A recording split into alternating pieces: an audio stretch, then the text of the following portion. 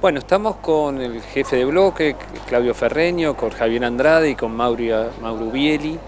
todos legisladores de la Ciudad de Buenos Aires, tratando de poder eh,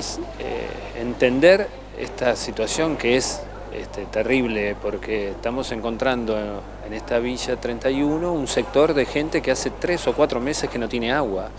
y que con estos calores la situación cada vez es más dramática. A partir de una obra que se hizo en el marco de la urbanización, que entendemos que no está siendo una urbanización como debe ser, fue una obra que se hizo sobre esta calle para traer la red del agua. Hemos constatado con AISA que la presión que trae AISA en la puerta del barrio donde se inicia la obra dentro del barrio, que es jurisdicción de la Ciudad de Buenos Aires, tiene la presión necesaria. El problema es que a partir de la obra los vecinos de toda esta cuadra que estamos viendo acá no tienen agua. Eh, lo que estamos viendo ahora es llamando a las autoridades del gobierno de la Ciudad Autónoma de Buenos Aires para que vengan, hablen con nosotros y tratemos de solucionar este tema al margen de otros temas que tiene, que tiene el barrio. Pero en principio lo que estamos haciendo es tratar de solucionar en el día de hoy el tema del agua. Ahora lo que estamos pidiendo es que los funcionarios del gobierno de la ciudad se presenten, que nos digan cuándo van a empezar las obras de solución de fondo para que le llegue el agua a todos los vecinos de la Mazana 100 bis. Eso necesitamos, respuestas. La estamos pidiendo por nota,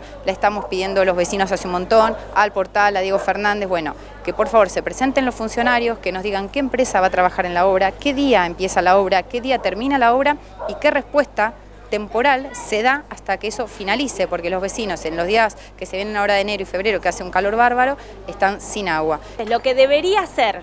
eh, una solución provisoria del gobierno de la ciudad que debería responsabilizarse de que haya agua de manera constante, producto de la presencia de camiones cisternas, se vuelve una excepción si tenés determinadas condiciones en tu hogar. Entonces, me parece que esto vuelve la situación, una situación completamente crítica que no podemos naturalizar, no puede ser que haya pasado tanto tiempo sin que el gobierno de la ciudad se haga cargo y además generando algo que es terrible y que a lo que ya nos tiene acostumbrados, que es generando la división entre vecinos, ¿no? Porque si te pido agua, si saco agua de un caño, te saco la presión a vos y entonces esos vecinos se enojan con los vecinos que lo que están queriendo es tener agua. Bueno, esos conflictos que se generan en el barrio eh, en realidad son una política del gobierno de la ciudad. No es algo que sucede porque sí sucede, porque hay un gobierno ausente que se retira y que responsabiliza a los vecinos de lo que se tiene que hacer cargo él. Nosotros estamos viendo obras acá que son de mejoramiento, que tienen que ver con la fachada de las, de las casas. Entendemos que el gobierno tiene que tener la prioridad que es